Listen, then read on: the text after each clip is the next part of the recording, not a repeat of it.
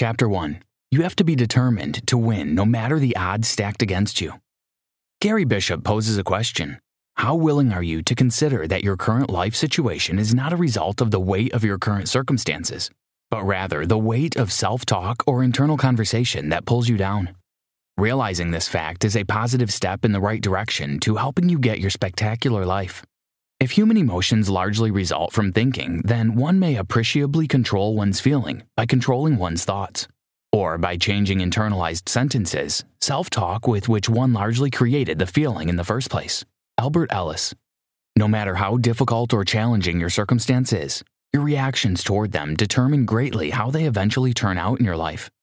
Hence, making positive assertive claims about your circumstance by strongly believing you can pull through is a way to break free from such circumstances. Stop blaming luck, other people, and outside influence for your situation. You have the life you're willing to build, so give up the attitude of defending your circumstance as they are if you really want a positive change in your situation. A circumstance reveals the true nature of a man, it does not change it. In this summary, you will discover how to work to overcome difficult circumstances to get the results you seek. Chapter 2 Willingness is a state that enables you to engage with life and see a situation from a new perspective. It all begins and ends with you. You can't be pressured into being willing, and you can't make remarkable life progress without willingness. In essence, get a complete hold of your thoughts and liven up the willing mind to make great exploits in life. Where the willingness is great, the difficulties cannot be great. Niccolo Machiavelli. You need the positive assertion, I am willing to break free from my current circumstance, because it profoundly enlivens you and opens you up to awesome experiences. When you channel an unwilling state correctly, you can ignite resolve and determinations that will help you surmount your current situation. Depending on the situation, some persons become driven by the assertion, I am willing, while others are driven by, I am unwilling. Stating and facing your unwillingness to change enables you to take a comprehensive assessment of your life. Accept the realities of your life, let go of the judgmental view you have of yourself, and make an effort to begin a change. In essence, both assertions of willingness and unwillingness can be channeled positively, depending on the situation of use. When you begin to view the world through the lens of what you're willing and unwilling to pursue, rather than what it seems you want and don't want, things start getting clearer and you begin to focus better. Willingness is a truth that only you can generate, and when you successfully do so, it eliminates those judgmental and self defeating thoughts that drown your life. When you're willing to do what it takes, nothing else can distract you. Gary Bishop's idea of willingness is that it is the lifeblood of the new, the infinite well of possibility and potential. A state where new features are birthed and a new you can begin. Hence, if you ardently desire to begin a new life to success, be willing. Chapter 3 You're wired to win, and you've got this. Life sometimes presents us with exhausting situations that make you want to believe you are a loser. But hey, don't give that losing thought a win. Even when you think you're losing in life, you're actually winning because everything that happens is really a victory. Gary Bishop gave an instance of people who fall strongly in love at the initial stage, everything blossoms, and it feels like a foretaste of heaven. But as time goes by, the love may begin to wax cold until they eventually fall out. Perhaps you didn't see this coming, but even when you lose your relationship, you're winning. You are winning at the life you have. Gary Bishop poses a question How could a failed relationship be called a win? He explains that you at a failed relationship because you achieved exactly what you set out to accomplish.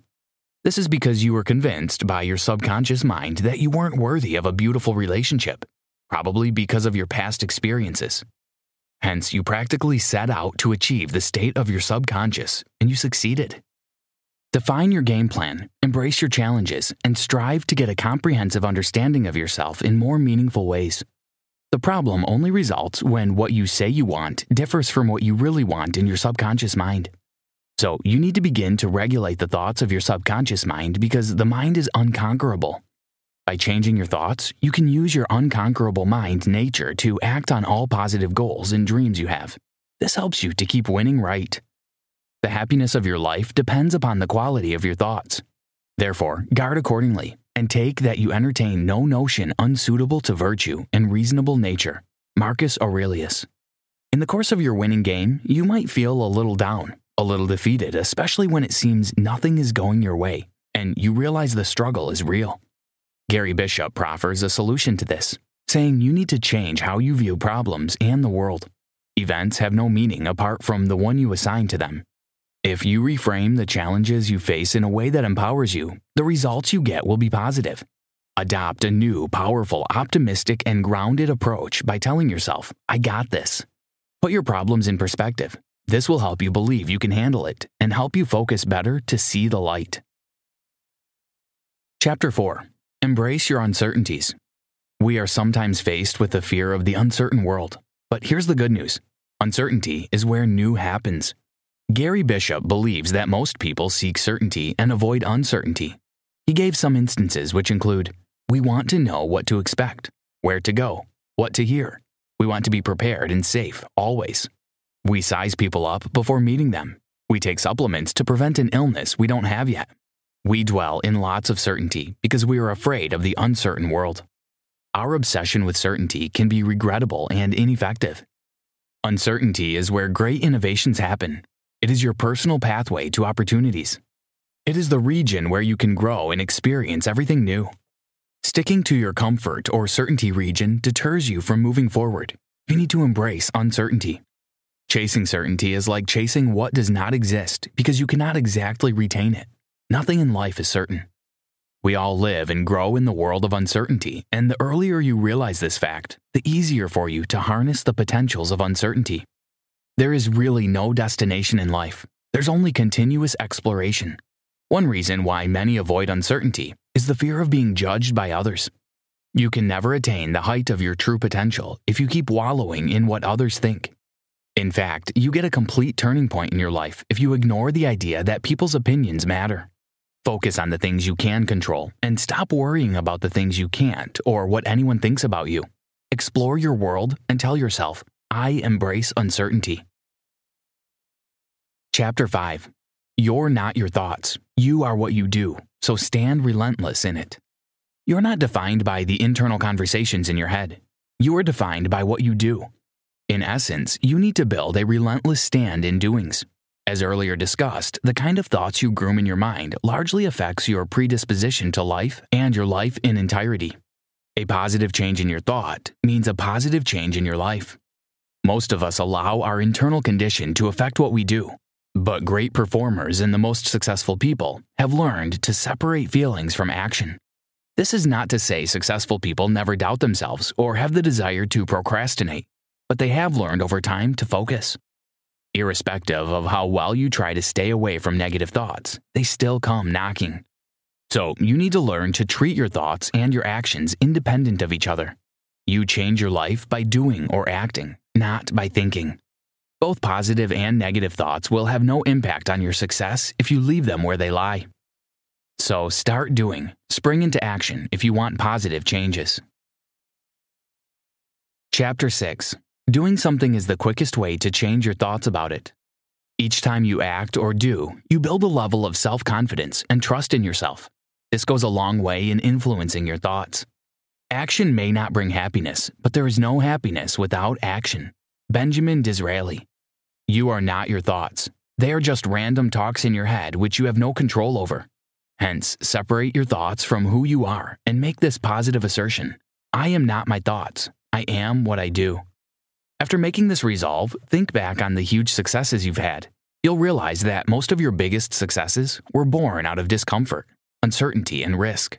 Nothing in this life is worth having or doing unless it means effort, pain, and difficulty. Theodore Roosevelt. The greater the degree of discomfort experienced, the greater the difficulty and the greater the sense of accomplishment that comes after. It's the reason why great accomplishments are rare, because many enjoy their comfort zone. In your journey to success, there will be all kinds of doubting and self defeating thoughts, but you need to stay focused and relentless if you really want to win. Bishop gave an instance of the world renowned bodybuilder Arnold Schwarzenegger, who was born to a poor family and dreamt of going to America and acting in movies at a time when technology was not vast. To his parents, this was a dream that could never be accomplished. But Arnold stood relentless despite all odds because he believed in himself and was willing to do what it took to bring his dreams to reality. Rather than worrying about whether to pull out or keep going, press on relentlessly. Relentlessness has just one direction forward. Until one day when you can look at your accomplishments with great amazement, there is no giving up. Did you know Arnold Schwarzenegger is the first Austrian bodybuilder to become an A list actor in the US and to become elected as governor? Chapter 7 Expect nothing, accept everything, and live a spectacular life. Sometimes we subconsciously build hidden expectations in our business, career, relationships, and life in general, which get in the way of our real lives, issues, and items that require our attention. Gary Bishop thinks that expectations are like a mirage that diverts us from our true powers to take profound and decisive decisions. Hence, you end up working on your hidden expectations instead of taking proactive decisions that positively impact your situation. You need to cut out hidden expectations to make a remarkable change in your success story. The idea of how things should have been or how life should be doesn't create a good sense of living. You can gain a better sense of living when you come to terms with life's uncertainty and understand your situation for what they really are rather than drown yourself in unproductive thoughts of your hidden expectations. Accept your reality and deal with it. Gary Bishop gives more insight saying, When you expect nothing, you're living in the moment. However, this doesn't mean you can't plan, but when you make plans, deal with whatever outcome the plan produces. And don't shrink yourself into depressive thoughts of your hidden expectations. Dance to the tune of your plan and move on with life. You need to love the life you live, not the one you expected to have lived. Your life, your successes, the power to change, the power to let go, all lies in your hands. So embrace the potentials that are within your reach. Make the positive assertion I expect nothing and I accept everything. Conclusion We all long to have a beautiful and spectacular life. Claim the greatness that's yours by putting all the positive assertions above to action relentlessly pursuing your goals and ultimately succeeding. Take time to deliberate, but when the time for action comes, stop thinking and go in. Napoleon Bonaparte. Gary Bishop advises that you take the necessary actions that are needed to effect a change and build a life that you can be proud of. He suggests ways to do this, which include stop buying yourself off, stop blaming your past, stop doing what you're currently doing to take hold of that freedom you've been missing, and start taking decisions and actions that will propel you forward. Embrace opportunity by taking some simple steps. Start doing little by little the things that make you uncomfortable. Get out of that comfort zone and embrace the beautiful options that come with uncertainty. This will greatly transform your life, from your relationship to your career. You'll no longer be hiding from life, but living life to its fullest. Try this. Do it now.